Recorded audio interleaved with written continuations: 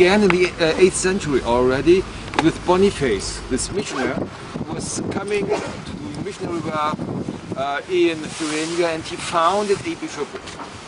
So uh, this was the first mention of the town of Erfurt too because he uh, wrote a letter to the Pope at Rome. He asked him to uh, permit this foundation and in this letter the town of Erfurt had been mentioned for the first time but this was not the foundation of the town. So when Boniface came here he already found a small town.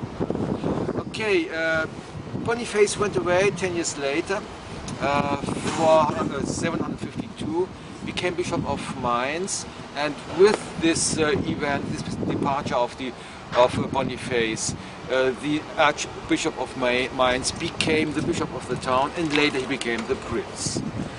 Um, and the Archbishop of Mainz was later um, the one who was supporting the Jew, Jews here and uh, the uh, Jews, they had to pay a special fee, a protection fee to the Archbishop of Mainz. So he was the protector of the Jews, of the Jewish community in the town of Erfurt.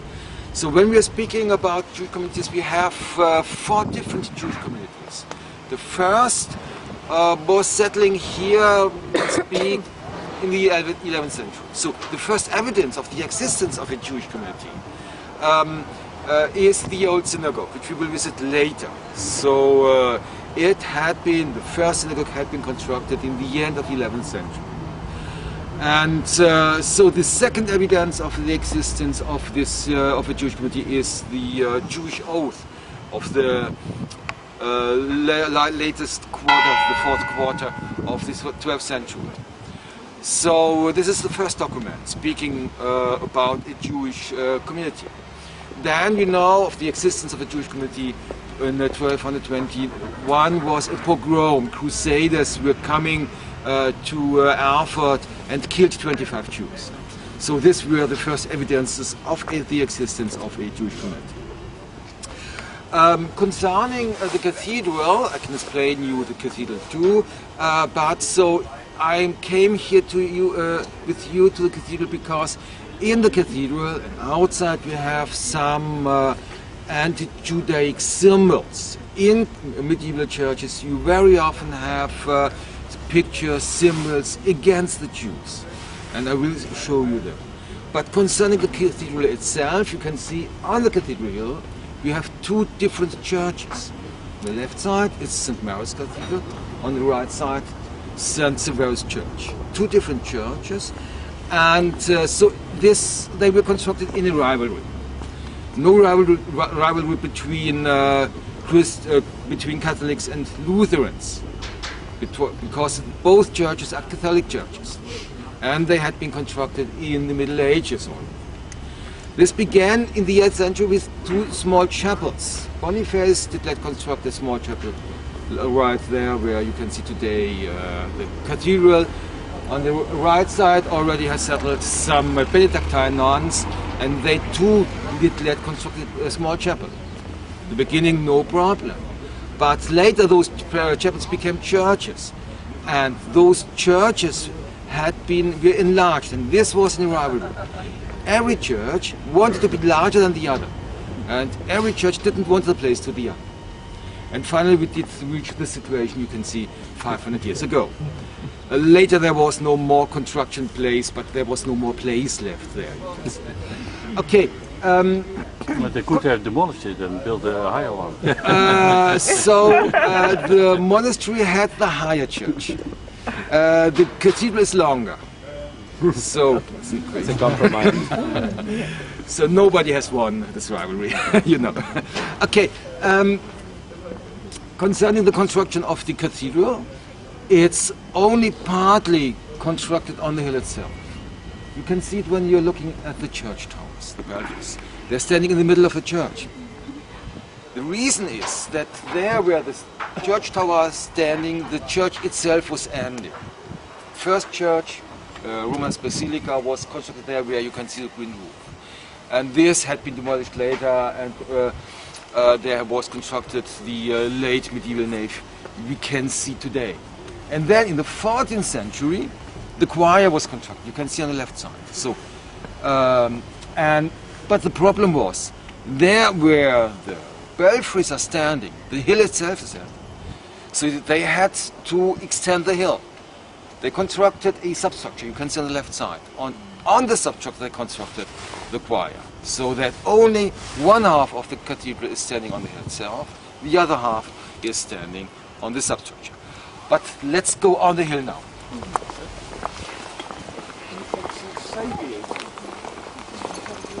The government of a uh, Catholic prince, the Archbishop of Mainz, too. So uh, finally, as there had been uh, consultations, and finally they, they signed a treatise in 1530, in which um, was declared that both denominations, Catholics and Lutherans, we are officially allowed in the town. So this is And the this con- first town. confirmed in 1555 Augsburg. It's, uh, it's uh, before 1555. So it's the first town in Germany where Lutherans and Catholics were uh, living together, and it was confirmed in Augsburg, of course. Yes, yes. But this was a separate. Uh, Already us. 1530. Yes, already 1530. That's interesting, yeah. Okay, but let's go there. Uh, artworks, uh, because then I would stop in one hour only. But uh, I will concentrate on the Jewish symbols. You can see here a, a dawn entry, and so um, you can see on both sides the foolish and the wise virgins. So it's, uh, it's a story told in New Testament, uh, Matthew, and the virgins had to come in the evening uh, with oil to Jesus, and so the you can see on the left side, which it's the right. On the left side for you, you can see the wise virgins which has have still their oil, and uh, on the right side you can see the foolish virgins which has lost their oil. But here you can see 12 women because they have, uh, we have two other women. Uh, with the wise virgins, you can see on the point, you can see uh, the ecclesia, the Christian church. And on the right side, with the uh, foolish virgin, you can see synagogue, the Jews. So, so why the Jews? So uh, you can see at the, down there the goose on the side, on the left side, and she's really ugly. So when you see it, face. This is so the symbol for the synagogue for the Jews. That's to say, uh, the Jews are not they are among the foolish virgins, and uh, they are not uh, really they cannot come to the last judgment. Okay. What's the symbol that you can see? The goose. Yes. With the hand, you can see on the side. Left side. It's mainly the. It's a goat. Goat. So, goat. Sorry, that's. That's why we couldn't see the boots. Yeah, okay. okay, let's go inside. They have their own guides, but there you can see uh, the choir stalls a picture of a Jew sitting on a pig, riding a pig, and he's fighting with a uh, knight, which is sitting on a on a horse. And uh, so the pig ride, another symbol, uh, an- another anti-Judaic symbol, uh, and so it's explains, it shows us uh, the conflict between Jews and Christians. Uh, persecutions began uh, with pogroms at the beginning of the 14th century, and I will later talk about the large pogrom in 1349. So everybody here? Everybody last? Two more. One. Sorry to be, sorry to be slow learner. Okay. Goes back to be Catholic. This, those two churches are today Catholic. So uh, in the Middle Ages, we are making no difference between Catholics. and No, no, but, but, uh, in, from the Catholic. 1520s. From the 16th century, 16th, uh, from 1530 on precisely, it's Catholic. But was there a period before 1530 when the Reformation happened? Yes, uh, the Lutherans uh, occupied it in uh, 1521. Then from 1525 on, they use it together. Okay, oh, that, that's explained it. Thank you. Okay. So let's continue.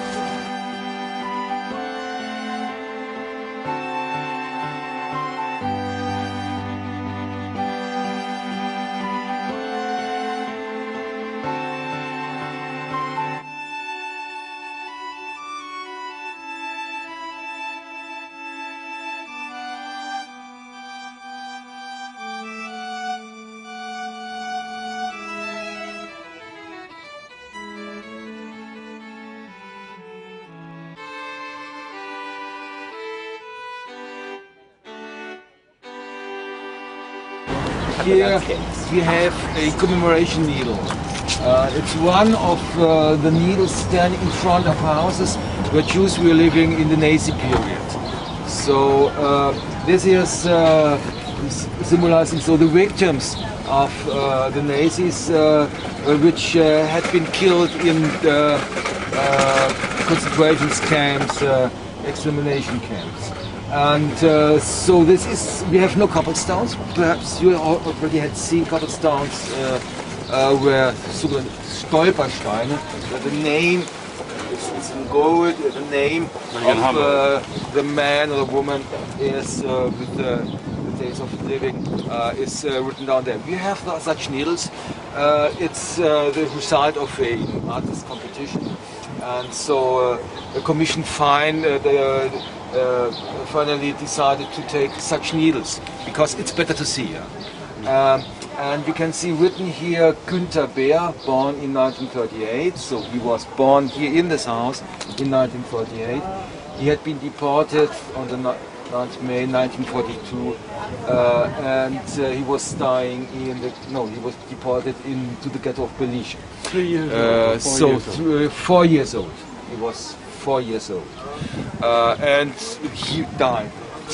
Uh, and so in this, uh, where we are commemorizing the victims of the Nazis in the town, and so uh, we have not in front of every house uh, such a needle today, uh, but we are developing this. So we began with four different needles, and they you have to pay it. So and so uh, we are asking for support, and then uh, you can give money uh, so that in order to uh, uh, put a needle in front of a house where Jews had been living. Okay, and so let's continue.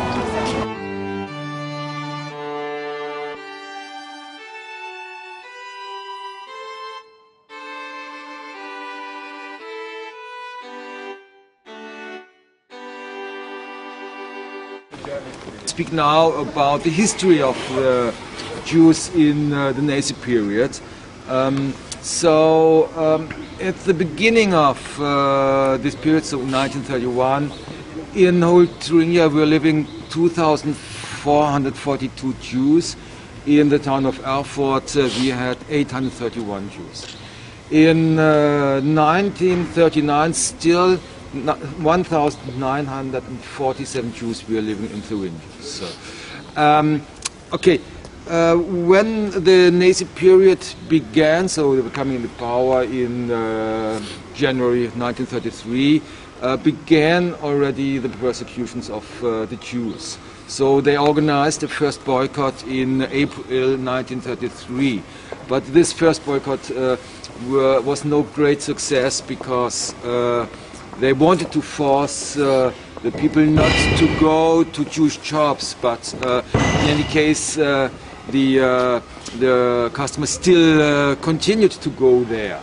But uh, during the years with the Jewish with the propaganda against the Jews and with the continuing Nazis continuing to force the people not to go in Jewish shops, uh, the uh, Jews were forced to uh, uh, sell their shops finally and to leave Germany. Those, this was this first policy of persecutions till 1939. And in 1937, uh, finally began a politic called Arisierung. So to force the Jews to sell their shops, uh, their property at a low price, and to sell it to uh, Aria, to uh, those Germans which had no uh, uh, Jewish uh, members, uh, fam- family members. And so we have two examples of uh, Arisierung here in the inner town. I'm not going there with you because in front of those houses are actually construction works, so it's too noisy. But I can show you them. You, this house is here uh, in this uh, small book. And uh, the first building is uh, pharmacy, the Mohren Apotheke. You can, you can see it here. Okay, the picture on the left side.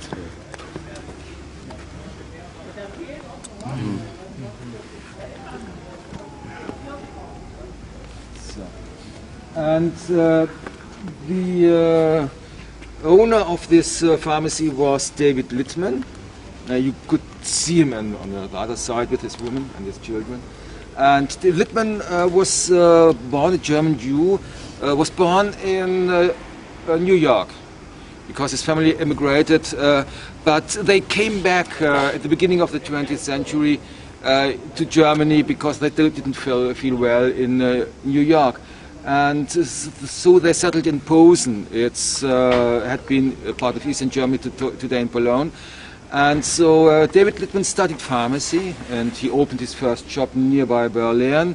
And then in 1928 he came to Erfurt and he bought uh, this pharmacy and he transformed this pharmacy. It became the most modern pharmacy in whole Erfurt.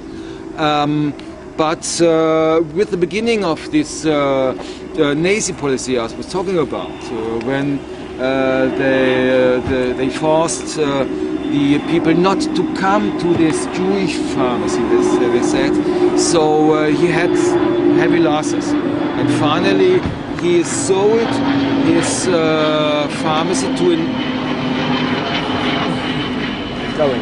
Finally, in 1935, he sold his pharma- the pharmacy at a really low price. He could emigrate to the States.